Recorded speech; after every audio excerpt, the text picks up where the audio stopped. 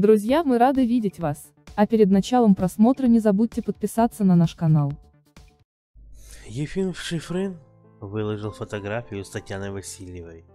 Пластический хирург Владимир Плохотин насчитал несколько операций. Татьяна Васильева не молодеет, как и все мы. 74-летняя артистка появилась в инстаграме своего друга и коллеги Ефима Шифрина.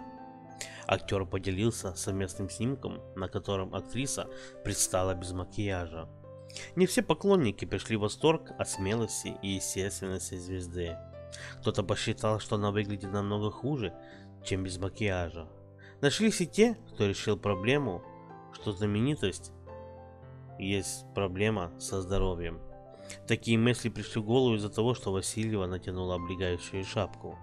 Фотография у нее как будто бы она делала подтяжку буквально месяца полтора-два назад. Прям вот так свежак. Мало того, что она свежая, остальные подтеки на лице у нее. Остаточная подтяжка лица месяц прошел, даже не два. У нее хорошо подтянута вал лица, скулы подтянуты. Сделана операция. Ей потянули и шею, и подбородок, и овалы лица, и скулы, и брови. И верхняя и нижняя треть лица полностью. Вместе с этим сделана блефопластика век. Нижние веки у нее, конечно, отечные сильно. Провел тщательный анализ Владимир Плохотник.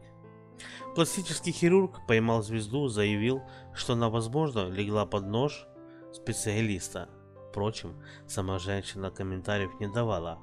Мы не услышали опровержения, но и подтверждения тоже нигде нет. Типичное лицо пациента после подтяжки. Вот прям типичные. Ботокса там нет, подытожил эксперт. Не забудьте подписаться на наш канал, чтобы не пропускать свежие выпуски.